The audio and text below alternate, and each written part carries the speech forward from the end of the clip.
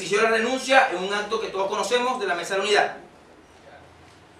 En segundo lugar, ponemos a la orden de la unidad de la Asamblea Nacional y del país a la fracción parlamentaria de Primera Justicia para que se active la enmienda.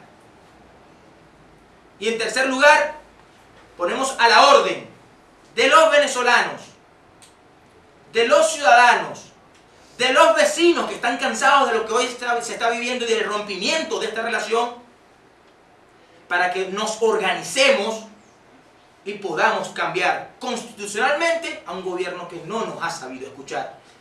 Las oportunidades se le han dado, se conversó, se habló, pero no supo escuchar. Nosotros nos hemos estado organizando para activar el referéndum revocatorio. Nosotros estamos haciendo un censo de todas las personas que se comprometen con Venezuela a activar el referéndum revocatorio.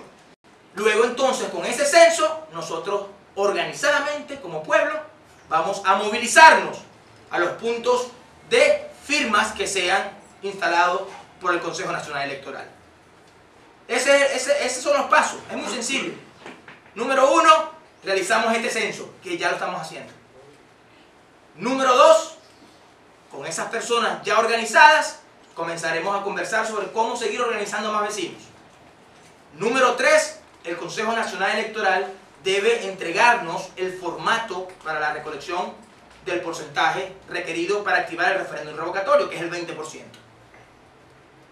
Número 4, se dice la fecha, se dicen los puntos y nosotros movilizaremos entonces a través de este censo a todos los venezolanos.